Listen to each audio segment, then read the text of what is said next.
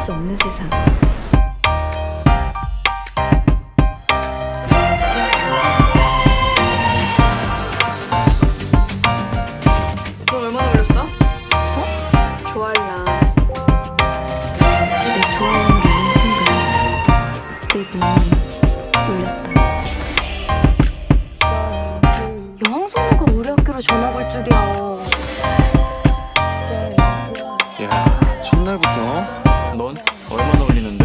나도 깔면 또 장난 아니지.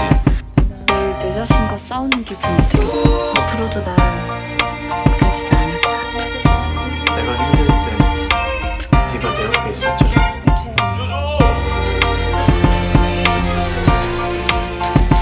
근데 너나 알아? 이상하네 너 좋아하는 거 껐어?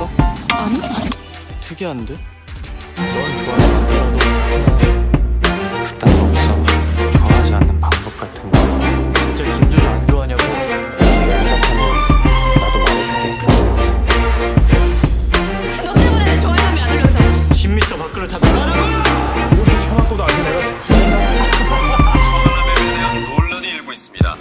조알람은 좋아하는 마음을 알릴 뿐 당신의 안전과 행복을 보장해주진 않습니다.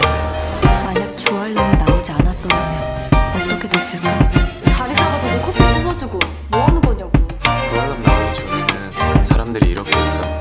내 눈 똑바로 봐 너 나 좋아하잖아 선택은 김조조가 하는 거네.